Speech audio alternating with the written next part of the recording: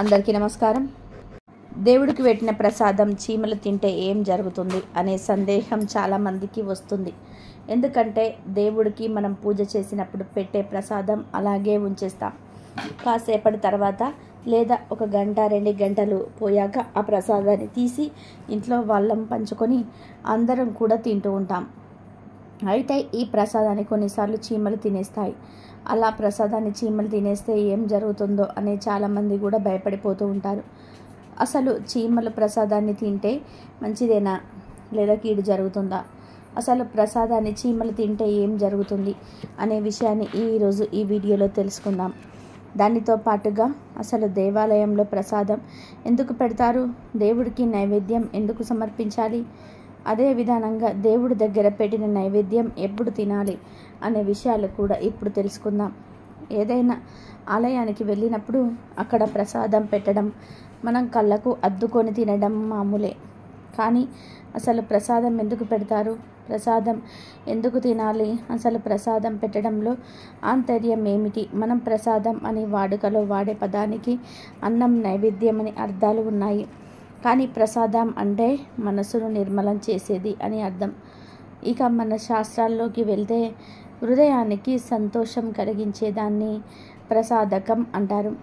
మనం రోజు ఇంట్లో ఎంత ఆహారం తీసుకున్నా ప్రసాదాన్ని మనం స్వీకరించే సమయంలో మనసు ప్రశాంతంగా ఉంటుంది. ప్రసాదంలోని విశిష్టత అదే. ప్రసాదం మనసును ప్రసన్నం చేస్తుంది. మనిషిలోని కర్ణను పెంచుతుంది. ముఖంపై చిరునవ్వు చిందిస్తుంది. అలాగే అన్ని దానాల్లోకి అన్నదానం మహా గొప్పదని చెప్తూ ఉంటారు. అందుకే ప్రసాదాన్ని ఆలయాలలో పంచుతారు. ప్రసాదం తయారీ కార్యక్రమం ఎంతో పవిత్రంగా సాగుతుంది. అందుకే ప్రసాదంగా తయారు చేసిన ఆహారం పరబ్రహ్మ స్వరూపంగా మారుతుంది. ఇక సాధారణంగా ఆలయాల్లో అన్నంలో పాలు కలిపి ప్రసాదం తయారు చేస్తారు. దీనివల్ల శక్తి రెట్టింపుగా మారి ప్రమా పరమాన్నం శక్తివంతంగా మారుతుంది. ఇంకా ప్రసాదంలో వాడే పెసరపప్పు కొబ్బరి ముక్కలు వంటి పదార్థాలతో ప్రసాదం ఎంతో బలాన్ని ఇస్తుంది. అందుకే భక్తికి భక్తి శక్తికి శక్తి త్రికరణ శుద్ధి కలిగించే ప్రసాదాన్ని మనం ఎన్నడూ కూడా విస్మరించకూడదు. మనసుకు కాస్త ప్రశాంతత కలిగించే అవకాశాన్ని వదులుకోవద్దు. నిత్యం దేవుడికి పూజ చేయాలని నైవేద్యం సమర్పించాలని. అసలు దేవుడికి నివేదించని పదార్థాలు మనం తినకూడదని ధర్మ గ్రంథాలు చెప్తూ ఉన్నాయి.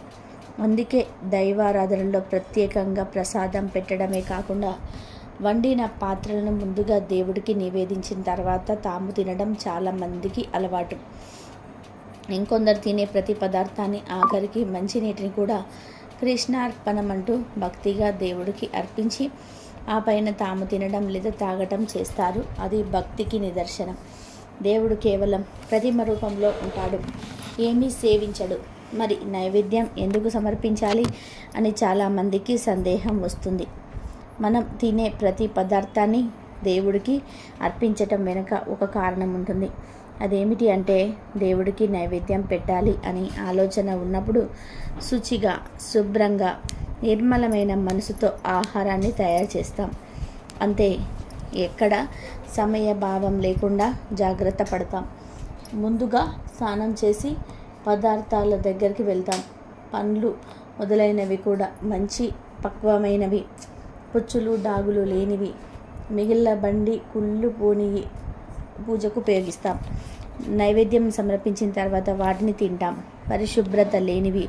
పాడైపోయిన పదార్థాలు పక్వం కానివి సరిగ్గా పండనివి మిగిల పండినవి నిల్వ ఉన్నవి ఎంగిలి చేసినవి రుచి లేనివి పవిత్రంగా లేనివి మొదలైన పదార్థాలు నివేదనకు పనికిరావు. ఆహార శుద్ధి సత్వశుద్ధిహి అని వర్ణించింది ఉపనిషత్తు. అంటే పరిశుభ్రమైన సాత్విక ఆహారం మాత్రమే నివేదించాలి. అలాంటి పదార్థాలు మనసును ప్రశాంతంగా ఉంచి శరీరాన్ని ఆరోగ్యంగా ఉంచుతాయి.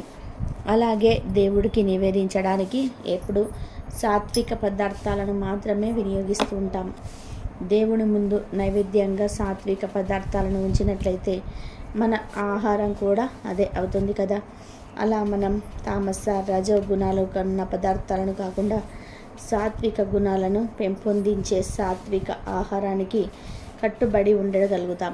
దేవుడికి నైవేద్యం సమర్పించటంతో మన మనసులో భక్తి ప్రవర్తలు నెలకొనడమే కాకుండా ఆ పదార్థాన్ని మనం తింటాం గనుక సుఖంగా శాంతంగా ఉంటాం. భారతీయ సంస్కృతిలో భగవంతుడి పూజలో ముఖ్యమైనది అతి పవిత్రమైనది దేవుడికి నైవేద్యం సమర్పించటం. భగవంతుడికి నైవేద్యం సమర్పించటం వలన భగవంతుడు సంతోషిస్తాడని తన భక్తులకు సంతోషాన్ని శ్రేయస్సును ప్రసాదిస్తాడని హిందువులు ప్రగాఢంగా నమ్ముతూ ఉంటారు. శాస్త్రం ప్రకారం దేవుడికి నివేదించిన ఆహార పదార్థాలను నైవేద్యం అని అంటారు. ఈ నైవేద్యం చాలా పవిత్రమైనది మరియు శుభప్రదమైనదిగా పరిగణించబడుతుంది. చాలామంది దేవుడి విగ్రహానికి నైవేద్యం సమర్పించిన తర్వాత ఆ ప్రసాదాన్ని ఏం చేయాలో అర్థం కాదు.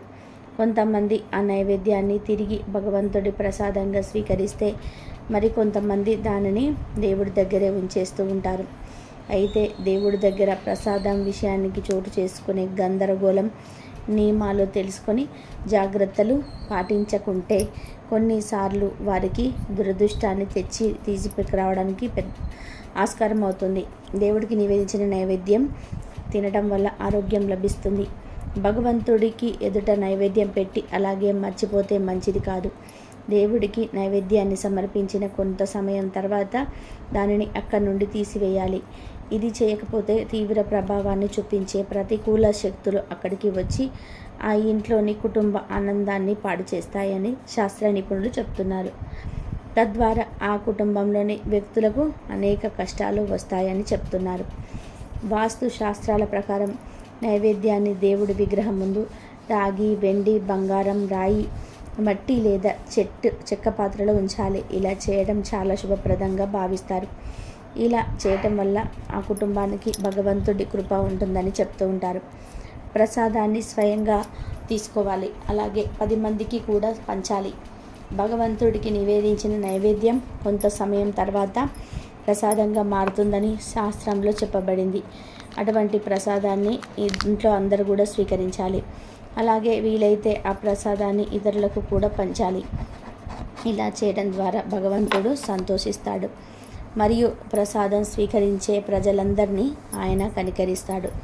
ప్రసాదానికి సంబంధించిన ఈ నియమాన్ని భక్తితో పాటిస్తున్న వారికి జీవితంలో ఎలాంటి ఇబ్బందులు ఎదురుకావని ఇంట్లో ఆనందం వెల్లువిరుస్తుందని చెప్తూ ఉంటారు. నైవేద్యం భగవంతుడి ముందే పాడైపోతే ప్రతికూల ఫలితాలు వస్తాయి. అందుకే ఎప్పుడైనా సరే భగవంతుడి ముందు పెట్టిన నైవేద్యాన్ని గంట లేదా రెండు గంటల తర్వాత తీసి ప్రసాదంగా స్వీకరించి తినేయాలి. ఆ ప్రసాదాన్ని ఇతరులకు కూడా పంచాలి. అలా కాకుండా భగవంతుడు ముందు పెట్టిన నైవేద్యం తీయకుండా అలాగే వదిలేస్తే అది పాడైపోతుంది. పాడైపోయిన నైవేద్యం భగవంతుడి ముందు ఉంటే ఇంట్లో ప్రతికూల ఫలితాలు కలుగుతాయి. ఇది గృహ సంతోషాన్ని నాశనం చేస్తుంది. ఇక గృహస్థులు పూజ చేస్తే చాలా మంచిది. పూజలో దేవుడి దగ్గర పెట్టిన నైవేద్యం పూజ పూర్తయిన వెంటనే ఏదా ఒక గంట తర్వాత ప్రసాదంగా తీసుకోవాలి. మీరు చేసిన పూజకు అనుగ్రహం అనేది ప్రసాదం రూపంలోనే మీకు దక్కుతుంది కాబట్టి దేవుడికి పూజ చేసిన వెంటనే ప్రసాదాన్ని అందరూ కూడా తీసుకోవాలి. అలా తీసుకున్న తర్వాత ప్రసాదం మిగిలిపోతే కొంతమంది అలాగే ఉంచేస్తూ ఉంటారు. అప్పుడు చీమలు వచ్చి ఆ ప్రసాదాన్ని తింటూ ఉంటాయి. అలా ప్రసాదాన్ని చీమలు తింటే అయ్యయ్యో చీమలు తినేశాయి అని బాధపడవలసిన అవసరం లేదు. మన ఇంట్లో అప్పుల బాధలు రుణ బాధలు ఉన్నప్పుడు చీమలు ప్రసాదాన్ని తినేస్తే కనుక మన ఇంట్లో ఉన్నటువంటి దరిద్ర బాధలన్నీ కూడా పోతా పోవటంతో పాటు అప్పులు కూడా తీరిపోతాయి. కష్టాలనేటివి పూర్తిగా తొలగిపోతాయి. కాబట్టి మనం అనుకోని విధానంగా అంటే మనం కావాలని చీమల కోసం ప్రసాదం పెట్టకుండా అనుకోని విధానంగా చీమలు వచ్చి దేవుడి ప్రసాదాన్ని తింటే గనక మీకు మంచి జరుగుతుంది. మీ ఇంట్లో ఉన్న ఆర్థిక ఇబ్బందులు తొలగిపోవడంతో పాటు అప్పుల సమస్యలు కూడా పూర్తిగా సమస్యపోతాయి కాబట్టి దేవుడి దగ్గర పెట్టిన ప్రసాదం చీమలు తింటే ఆందోళన పడాల్సిన అవసరం లేదు. మీకు శుభమే జరుగుతుంది. కొంతమంది దేవుణ్ణి పూజించేటప్పుడు దేవుడికి మొక్కుకునేటప్పుడు కన్నీళ్ళు పెట్టుకుంటే ఏడుస్తారు. తెలియకుండానే వారి బాధలు చెప్పుకుంటూ ఏడుస్తుంటారు. మరి అలాంటి దేవుడి ముందు ఏడవటం మంచిదేనా? అసలు దేవుడి ముందు ఏడిస్తే ఏం జరుగుతుంది అనే విషయాన్ని ఈ వీడియోలో ఈ వివరంగా తెలుసుకుందాం. ఫ్రెండ్స్ ఈ వీడియోని స్కిప్ చేయకుండా పూర్తిగా చూడండి. అప్పుడే మేము చెప్పేది మీకు అర్థమవుతుంది. అలాగే ఈ వీడియోకి ఒక లైక్ కొట్టి మా ఛానల్ని సబ్స్క్రైబ్ చేసుకోవడం మర్చిపోవద్దు. మనిషి ముఖ్యంగా రెండు సందర్భాల్లో ఏడుస్తాడు. ఆ సందర్భాలు ఏమిటి అంటే ఒకటి ఆనందం ఎక్కువైనప్పుడు కళ్ళ నీళ్ళు వస్తాయి. రెండవది బాధ ఎక్కువైనప్పుడు కూడా కన్నీళ్ళు వస్తాయి. భావోద్వేగం అధికమైనప్పుడు కంటి నుండి నీరు వస్తుంది. కానీ మనిషి బాధను అనుభవించినంత తీవ్రంగా ఆనందాన్ని అనుభవించాడు. అంటే ఎప్పుడైనా ఒక బాధ వచ్చిందనుకోండి దానిని వంద సార్లు గుర్తు చేసుకుంటాడు. కానీ సుఖం వచ్చినప్పుడు మాత్రం ఆ సుఖాన్ని ఎక్కువగా గుర్తు చేసుకోడు.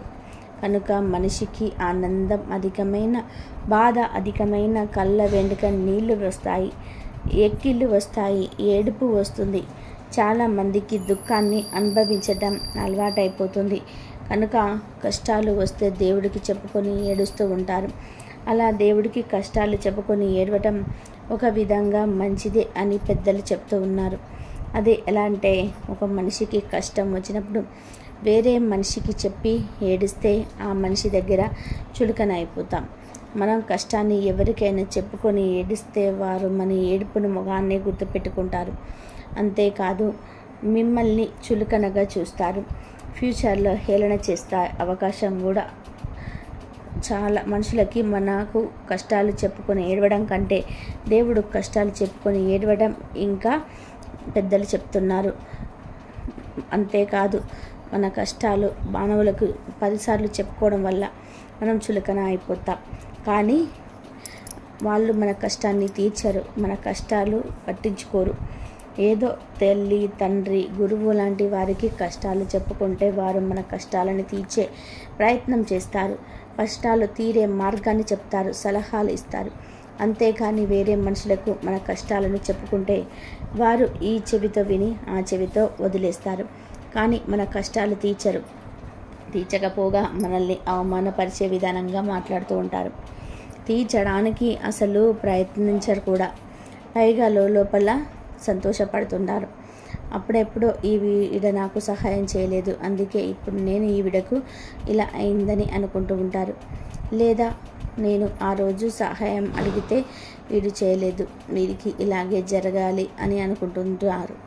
లేదా చాడిస్ట్ ఆనందం పొందవచ్చు లేదా మిమ్మల్ని చిన్న చూపు చూడవచ్చు. కనుక ఇతరులతో మన కష్టాలను చెప్పుకుంటే ఎలాంటి మంచి జరగదు. అంతగా మన కష్టాలను చెప్పుకోవాలి అనిపిస్తే ఎవరైతే మీకు బాగా నమ్మకంగా ఉంటారో మీరు చెప్పేది ఇతరులకు చెప్పకుండా ఉంటారో మిమ్మల్ని బాగా అర్థం చేసుకోగలుగుతారు. అలాంటి వారికి చెప్పుకోవాలి. అలా నమ్మకంగా ఉండేవారు కూడా చాలా తక్కువ మంది ఉన్నారు. కనుక వేరే వారి దగ్గర చులకన అయిపోకుండా వేరే వారి గురించి మన గురించి తక్కువగా మాట్లాడుకోకుండా అనవసరం మాటలు మాట్లాడుకొని దేవుడికి మన కష్టాలు చెప్పుకోవడం మంచి విషయమే. దేవుడికి మన కష్టాలు చెప్పుకుంటే ఆయన వేరే వారికి చెప్పడు. బాధలు ఎక్కువైనప్పుడు బయటకి చెప్పుకోవాలి. చెప్పుకోకపోతే గుండెకు భారంగా ఉంటుంది. ఇక బెలూన్లో స్థాయికి మించి గాలి నింపితే పగిలిపోతుంది. అలాగే బాధలు ఎక్కువైనప్పుడు గుండె కూడా భారంగా మారిపోతుంది. ఆ భారం తగ్గాలి అంటే మన ఆవేదనను ఎవరికో ఒకరికి చెప్పుకోవాలి. మరి ఎవరికి చెప్పుకుంటే క్షేమంగా ఉంటుంది అంటే దేవుడికి. కనుక కష్టాలు వచ్చినప్పుడు దేవుడికి చెప్పుకోండి. వీలైతే ఆ దేవుడే కష్టాలు తీరుస్తాడు లేదా కష్టాలను తట్టుకోగలే ధైర్యాన్ని శక్తిని ఇస్తాడు. ముందు గుండె భారం తగ్గుతుంది మనస్సు తేలిక పడుతుంది. దేవుడే సమస్యకు పరిష్కారం చూపే అవకాశం ఉంది. ఇతరులకు మన కష్టాలు లీక్ అవ్వకుండా ఉంటాయి. కనుక దేవుడి దగ్గర ఏడుస్తూ కష్టాలు చెప్పుకుంటే ఏమీ తప్పులేదు. పైగా ఇలా ఏడుస్తూ కోరికను వ్యక్తం చేసినప్పుడే దైవం అనుగ్రహించినట్టు అనేక పురాణాల్లో ఉంది. పై పైన చేసే పూజలకు ఎప్పటికీ ఫలితం రాదు. కష్టాలు ఎక్కువయ్యి భావోద్వేగాలు ఎక్కువైనప్పుడే మనస్సు దేవుడి మీద పరిపూర్ణంగా లగ్నమవుతుంది. ఆ సమయంలో ఎలాంటి కోరిక కోరుకున్నా తీరుతుంది. కష్టాలు తీరుతాయి గనుక మనసుల దగ్గర కష్టాలు చెప్పుకొని ఎరవకండి దేవుడి దగ్గర ఎడవండి ఆత్మ పడే ఘోష పరమాత్ముడికే అర్థమవుతుంది గనక దేవుడి దగ్గర ఏడిస్తే కష్టాలు కూడా త్వరగా పోతాయి. దేవుడి దగ్గర కన్నీళ్ళు పెట్టుకోవడంలో ఎలాంటి తప్పు లేదు. పూజ చేసే సమయంలో కొంతమందికి ఆవలింతలు వస్తూ ఉంటాయి. మరి కొంతమందికి కన్నీళ్ళు నిద్ర తుమ్ములు చెడు ఆలోచనలు వస్తూ ఉంటాయి. మరి పూజ చేసే సమయంలో ఇలా ఆవలింతలు కన్నీళ్ళు చెడు ఆలోచనలు వస్తే అది దేనికి సంకేతం? శుభమా అశుభమా? ఏం జరుగుతుంది అని చాలామందికి సందేహం ఏర్పడుతుంది. పూజ చేసే సమయంలోనే కాదు ప్రవచనాలు వింటున్న సమయంలో భజనలు చేస్తున్న సమయంలో లేదా దేవాలయంలో పుణ్యక్షేత్రాల్లో వెళ్ళినప్పుడు గుడికి వెళ్ళినప్పుడు దేవుణ్ణి చూస్తున్నప్పుడు మనకు కన్నీళ్ళు ఆవలింతలు రావడం తుమ్ములు రావటం నిద్ర రావటం జరుగుతూ ఉంటుంది. ఇలా జరిగితే మంచిదేనా అని అందరికీ సందేహం కలుగుతుంది. మరి ఆ సందేహానికి సమాధానాన్ని ఏ మనం ఈరోజు ఈ వీడియోలో తెలుసుకుందాం. మనం దేవుడి యొక్క పరిపూర్ణమైన అనుగ్రహం పొందడం కోసం పూజలు చేస్తాం. అలాంటి పూజలను భక్తి శ్రద్ధలతో చేసుకోవాలి. అలా చేయాలంటే ముందు మన మనస్సు అనేది ప్రశాంతంగా ఉండాలి. కానీ కొన్నిసార్లు పూజ చేసేటప్పుడు మనకు తెలియకుండానే మన మనస్సు అనేది చెడు ఆలోచనల వైపు వెళ్ళిపోవటం ఆవలింతలు రావటం నిద్ర రావటం కన్నీళ్ళు రావటం జరుగుతూ ఉంటాయి. ఇలా జరుగుతూ ఉన్నప్పుడు రెండు కారణాలను గుర్తించాలి. మొదటిది ఏమిటి అంటే మన శరీరానికి సరిపడ విశ్రాంతి లేకపోవడం వలన ఇలా జరగవచ్చు.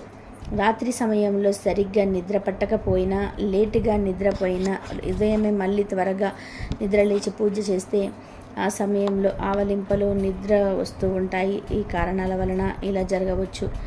ఇక రెండవ కారణం ఏమిటి అంటే పూజ చేసే సమయంలో నిద్ర ఆవలింపలు చెడు ఆలోచనలు వస్తూ ఉండటం శరీరం బరువెక్కినట్టు ఉండటం తల భారంగా ఉండడం ఇలాంటిది జరగడానికి కారణం చుట్టూ ఉన్న నెగిటివ్ ఎనర్జీ. విశ్వంలోని ప్రతికూల శక్తులు మనల్ని దేవుడికి పూజ చేయనివ్వకుండా ఆపుతూ ఉన్నాయని అర్థం. ఇలాంటి సమయంలో పూజను త్వరగా ముగించుకోవాలి లేదా ఒకసారి లేచి ముఖం కాళ్ళు చేతులు కడుక్కొని మళ్ళీ వచ్చి పూజ ప్రారంభించాలి. ఇలా నెగిటివ్ ఎనర్జీ పూజకు భంగం కలగకుండా ఉండాలి అంటే పూజ చేసే ముందు ఇండ్లంతా ధూపం వేసుకుంటే సరిపోతుంది. అయితే కొంతమందికి అమ్మవారిని పూజించేటప్పుడు లేదా అమ్మవారిని చూసినప్పుడు వెంటనే కన్నీళ్ళు వస్తూ ఉంటాయి.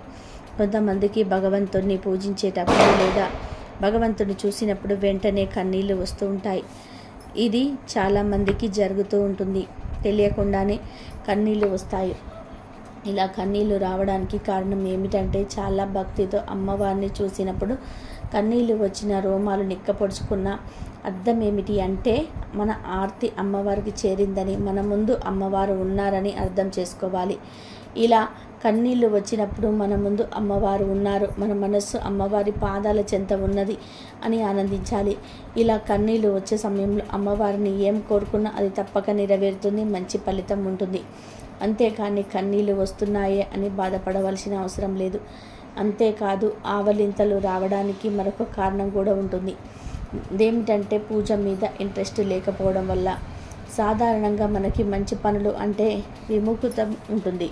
అంటే చాలామంది మంచి పనులు చేయడానికి ఇంట్రెస్ట్ చూపరు. సినిమాలు చూస్తున్నప్పుడు ఎవరికి ఆవలింపులు రావు. ఎందుకంటే సినిమాల పట్ల మనకు సుముఖత అంటే ఇంట్రెస్ట్ ఎక్కువగా ఉంటుంది. ఇంట్రెస్ట్ ఉన్న ఉంటుంది కాబట్టి సినిమాలు చూసే సమయంలో మనకు నిద్ర రాదు. కానీ పూజ అనేసరికి తప్పదు కదా. పూజ చేయాలి. ఎలాగోలాగో చేసేద్దాం అనే భావన కలుగుతుంది. అలా ఇంట్రెస్ట్ లేనప్పుడు పూజ చేసినా కూడా ఆవలింతలు వస్తాయి. ఇలా ఆసక్తి లేకుండా పూజ చేసినప్పుడు ఆవలింపులు వస్తాయి. ఇది ఒక కారణం. ఇంకొక కారణం ఏమిటంటే పూజ చేస్తే మీకు మంచి ఫలితం ఉంటుంది. అలా మంచి ఫలితం రాకుండా చేయడం కోసం కొన్ని దుష్ట గ్రహాలు దుష్ట శక్తులు మీ మీద ఆవలింతల ప్రయోగం చేస్తాయి. ఇలా ఆవలింపలు రావడానికి అనేక కారణాలు ఉంటాయి. నిజానికి ఇలా ఆవలింపులు తొమ్ములు వస్తే వెంటనే పూజ అక్కడితో ఆపేసి లేచి వెళ్ళి తలస్నానం చేసి బట్టలు మార్చుకొని మళ్ళీ వచ్చి కూర్చొని పూజ చేయాలని శాస్త్రం చెప్తుంది. ఇలా పూజ మధ్యలో ఎన్నిసార్లు ఆవలింపులు వస్తే అన్నిసార్లు ఎన్నిసార్లు తొమ్ములు వస్తే అన్నిసార్లు తలస్నానం చేయాలని శాస్త్రం చెప్తుంది. కానీ అలా ఎన్నిసార్లు ఆవలింపులు తొమ్ములు వస్తే అన్నిసార్లు తలస్నానం చేయలేము గనక దీనికి ప్రత్యామ్నాయంగా మన పెద్దలు బుక్క తిరిగినంతసేపు గంగా గంగా గంగా అని కానీ విష్ణు విష్ణు విష్ణు అని అని అనుకోమని పెద్దలు పరిహారం చెప్పారు. ఇలా చేస్తే ఆవలింపుల దోషము తుమ్మిన దోషము పోతుంది. కాబట్టి పూజ చేసినప్పుడు కన్నీళ్ళు వస్తే మంచిదే. కానీ తుమ్ములు ఆవలింపులు రావడం మాత్రం అశుభం అని పెద్దలు అంటూ ఉన్నారు. అలా తుమ్ములు ఆవలింపులు వచ్చినప్పుడు ఇప్పుడు మనం చెప్పుకున్న పరిహారం చేసుకుంటే ఎలాంటి దోషం ఉండదు. పూజ చేసే సమయంలో కన్నీళ్ళు వచ్చిన ఆవలింపులు వచ్చిన తుమ్ములు వచ్చిన దేనికి సంకేతమో తెలుసుకున్నారు కదా. కనుక పూజ చేసే సమయంలో ఏమీ సందేహాలు లేకుండా పూజించి పూర్తి ఫలితాన్ని పొందండి. ఇదండి ఈరోజు వీడియో. నా వీడియో కనుక మీకు నచ్చినట్లయితే ప్లీజ్ లైక్ చేయండి షేర్ చేయండి సబ్స్క్రైబ్ చేయండి. మరొక మంచి వీడియోతో మళ్ళీ కలుద్దాం. కాబట్టి నైవేద్యాలు పెడితే ఎలాంటి ఫలితాలు వస్తాయి? అలాగే పూజ చేసేటప్పుడు ఆవలింపులు కానీ వచ్చినప్పుడు ఎలాంటి ఫలితాలు వస్తాయో విన్నారు కదా? ఇంతవరకు చూసినందుకు ధన్యవాదాలు.